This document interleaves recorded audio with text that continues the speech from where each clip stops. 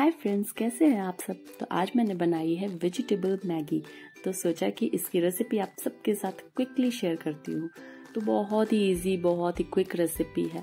तो चलिए बनाते हैं और हाँ वीडियो को पूरी ज़रूर दिखिएगा। तो चलिए शुरू करते हैं। तो जैसा कि मैंने बताया वेजिटेबल मैगी है तो मैंने जो भी वेजिटेबल अवेलेबल थे, वो ले लिए और चॉप कर लिए। तो यहाँ मैंने लिया है प्याज, ये है गाजर, इसके साथ ही मैंने लिया है बीन्स और कैप्सिकम तो यहाँ पे मैंने एक कढ़ाई में एक चम्मच तेल गरम किया है। तेल गरम होते ही मैं इसमें डालने वाली हूँ प्याज और प्याज को मैं सिर्फ़ एक मिनट के लिए फ्राई कर लूँगी हाई फ्लेम पे। अच्छा मैगी को भी बॉईल कर लेते हैं तो यहाँ मैंने पानी उबलने के लिए रख लिया है और चलती हूँ फिर से कढ़ाई की तरफ़। तो मैंने प्याज को भून लिया, उसके बाद मैंने जितनी भी वेजेस काट के रखी थी, आपके पास अगर कुछ और हो तो आप वो भी ले लें और फिर उसे अच्छे से रोस्ट कर ले। हाँ अच्छे से रोस्ट करना है। भाई, हम इंडियंस तो भुनी हुई ही सब्ज़ियाँ खाते हैं।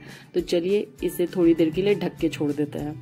तो यहाँ पानी उबल चुका था तो मैंने अपनी मैगी जो है, उसको बीच से तोड़ के इसमें डाल दी और फिर इसको उबलने देते हैं। और फिर चेक कर लेते हैं वेजीज तो वेजीज जो है, उसे हमें बहुत ज़्यादा नहीं पकानी बट हाँ कच्चा भी नहीं छोड़ना है। तो यहाँ अच्छे से डन तो हो चुका है। तो मैं एक बार इसे क्विक स्टर कर लेती हूँ, अच्छे से मिला लेती हूँ और फिर इसमें मैं डालूँगी नमक।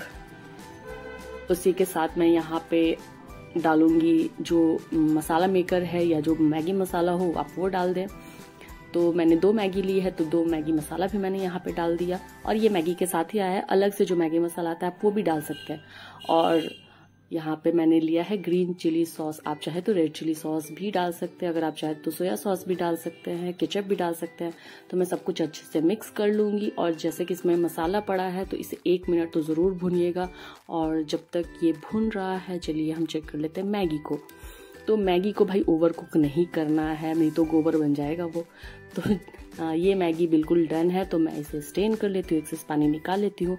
अगर वेजेस डन ना हो तो भाई इसके ऊपर ठंडा पानी डाल दे नहीं तो ओवर कुक हो जाएगा। तो मेरी वेजिस तो डन है तो मैंने डाल दिया वेजिस के साथ ये मैगी और इसे क्विकली अच्छे से स्टर कर लूँगी मिक्स कर लूँगी, ज़्यादा नहीं पकाना है, पका हुआ ही है सब कुछ। बस सबको एक दूसरे के साथ मिला देना है। तो मैंने यहाँ पर वेजिटेबल्स को, मैगी को अच्छे से मिक्स कर लिया है।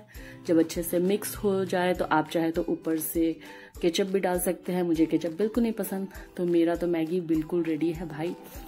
आप भी ये रेसिपी ज़रूर ट्राई करना, मेरी वीडियो अगर अच्छी लगे तो मेरे वीडियो को लाइक करना शेयर करना और मेरे चैनल को अगर सब्सक्राइब नहीं किया, वैसे किया ही होगा। अगर नहीं किया तो सब्सक्राइब भी करना। तो चलिए मैं इसे सर्व करके आपको दिखाती हूँ। और हाँ प्लेट धो के ही खाना। कोविड अभी गया नहीं है। मज़ाक किया। तो ये देखो, मैंने अपनी मैगी को सर्व कर लिया। एकदम गर्मा गर्म चलो बाय